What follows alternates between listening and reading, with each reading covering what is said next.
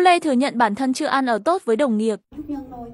Ai mời thì Miu cũng có lý do để bận hết, có bận thiệt. Nhưng mà Miu nghĩ là thật sự là muốn thì tìm cách, không muốn thì tìm lý do. Nên mình cũng phải quay về xem xét lại bản thân mình đó mình có quá nhiều lý do đó thì mình chưa đúng. Và cái họp báo nào của Miu mọi người cũng có mặt đầy đủ hết.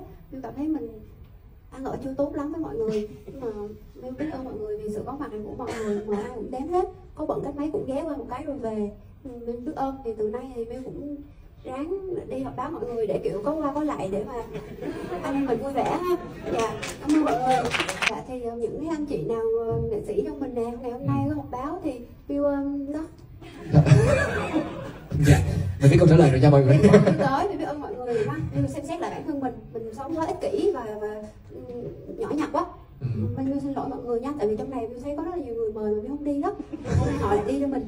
Dạ và cảm ơn sự có mặt hôm nay của các ờ, anh chị của tất cả mọi người thời của mọi người rất là quý